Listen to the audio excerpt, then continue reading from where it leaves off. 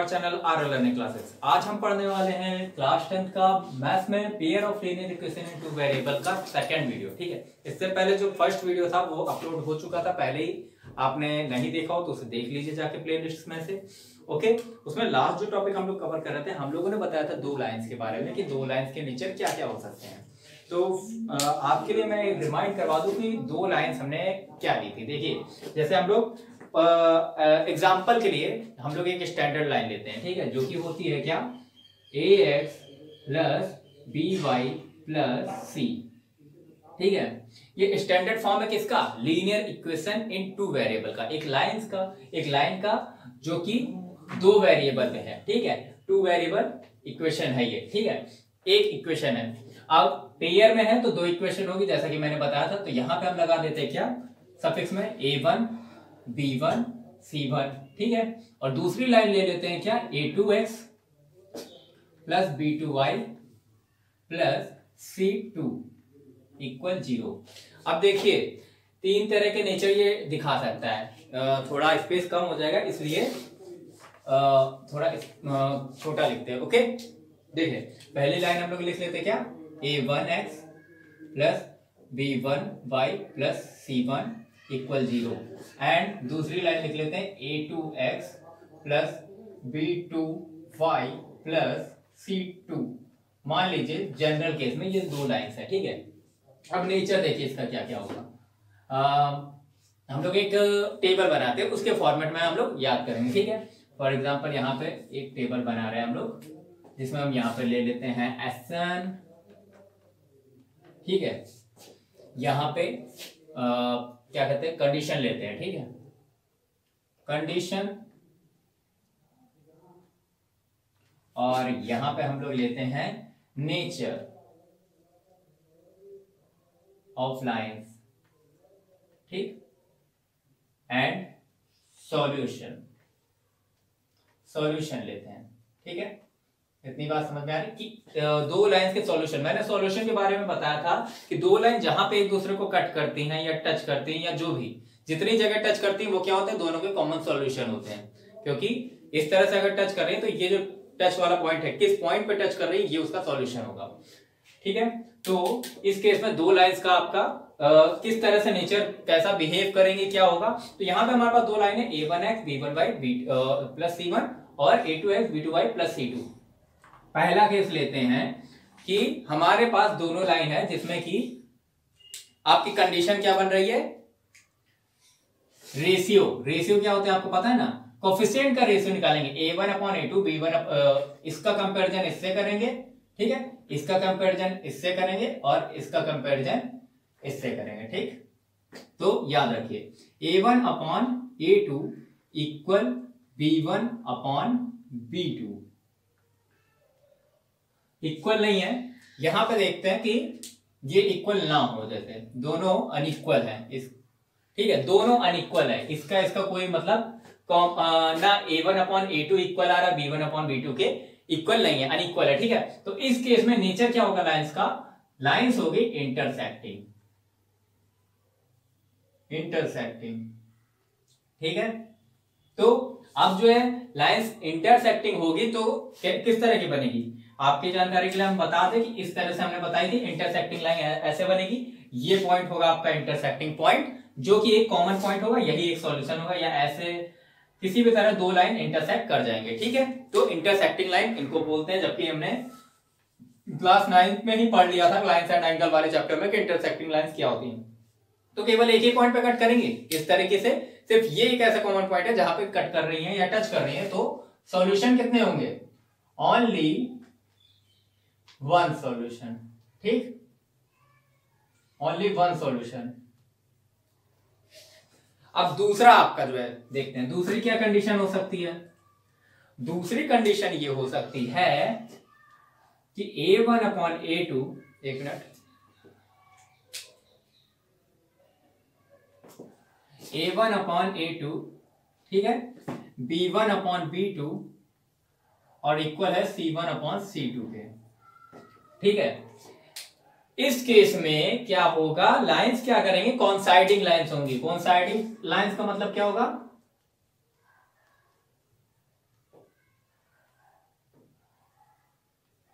Nature क्या होगा lines का?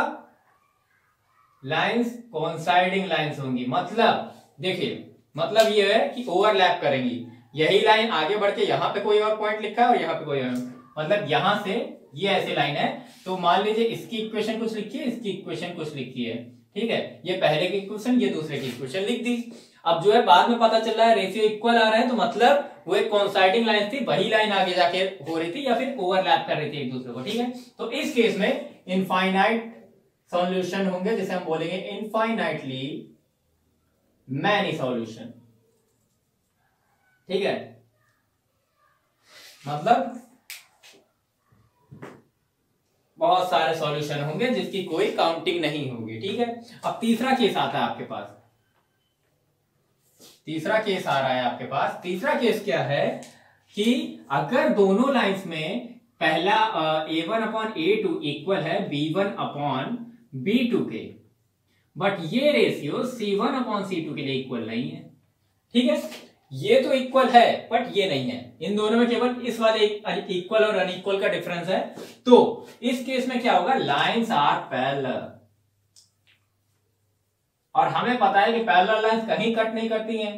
ठीक है? अब, अगर पैरेलल लाइंस कहीं कट नहीं करेंगी तो ना टच करेंगे एक दूसरे को और टच नहीं करेंगे तो कोई सॉल्यूशन मिलता ही नहीं है। तो नो कॉमन सॉल्यूशन या फिर नो सॉल्यूशन आप लिख सकते हैं। इसका कोई सॉल्यूशन नहीं होगा। ठीक?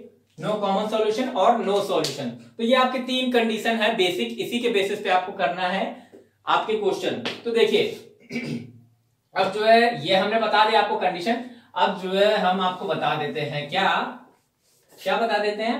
हम्म, ये वाला पार्ट हटा देते हैं। ठीक है? ठीक? ये वाला पार्ट बता, हटा देते हैं। अब देखते हैं हम दो लाइंस लेके। फॉर एग्ज़ाम्पल हमने लाइन ली क्या? X minus two y equal zero ठीक है?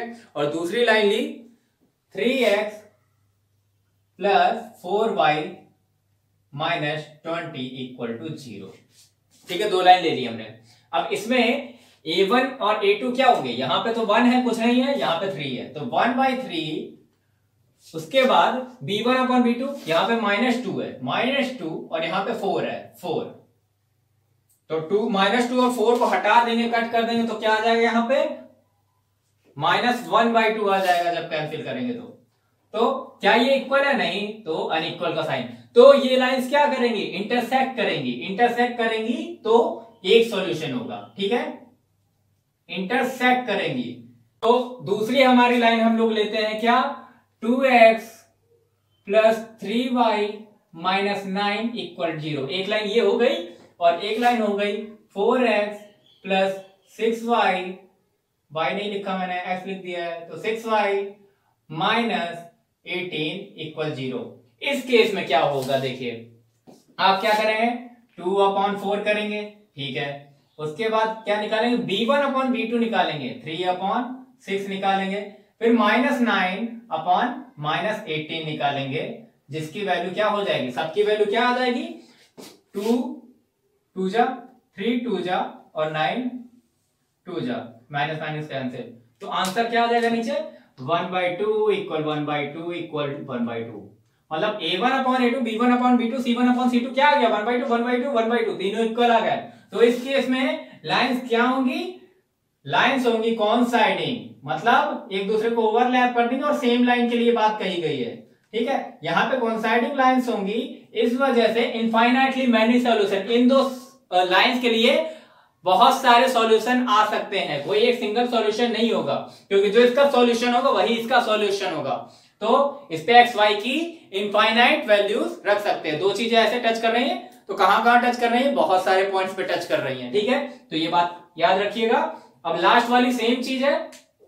लगभग अगर हम इसी लाइन को क्या करते हैं, ये वाला कॉन्साइडिंग लाइन वाला तो आपको समझ में आ गया। इसी लाइन में हम, इसी लाइन में हम क्या करते हैं, यहाँ नाइन है, यहाँ पे हम कर देते हैं कुछ और। मान लीजिए ये वाला हमारा पार्ट अलग है माइनस सेवन कर दिया, ठीक है। अब क्या होगा? अब हमारा ये वाला पार्ट तो सेम रहेगा, पर यहाँ पे माइनस सेवन है अगर। फॉर एग्ज़ाम्पल यहाँ हमने सेवन ले लिया, ये अलग कर दिया तो यहाँ पे नाइन बाई सेवन आ जाएगा। तो ये इक्वल नहीं होगा। ये ऊपर वाला a one upon one upon two equal one upon two तो आ जाएगा। किसके लिए? A one upon a two b one upon b two के लिए। तो ये इक्वल रहेगा। इस केस में नो कॉमन सॉल्यूशन हो जाएँगे। क्योंकि लाइंस क्या हो जाएँगी? पैरेलल हो जाएँगी। मतलब इस तरह से लाइन बनेगी पैरेलल ठीक है? तो पैरेलल लाइंस बनेगी। ठीक है? तो आई होप कि आपको ये समझ में आया होगा। यहाँ पे लाइंस के हमने जो नेचर देखे थे, कि किस तरह की लाइन होंगी और सॉल्यूशन का क्या मतलब बिहेवियर होगा, किस तरह से सॉल्यूशंस निकलेंगे या कितने सॉल्यूशन होंगे नंबर ऑफ़ सॉल्यूशन जो भी होंगे तो वो हमने देखा, ठीक है? अब सॉल्यूशन निकालते कैसे ये हम आगे अगली वीडियो में सीखेंगे। आई होप कि आपको नेचर पूरा समझ में आ गया हो कि बेसिक सा जो फंडा लगता है किसी लाइंस को सॉल्व करने में, वो यही लगता है, ठीक है?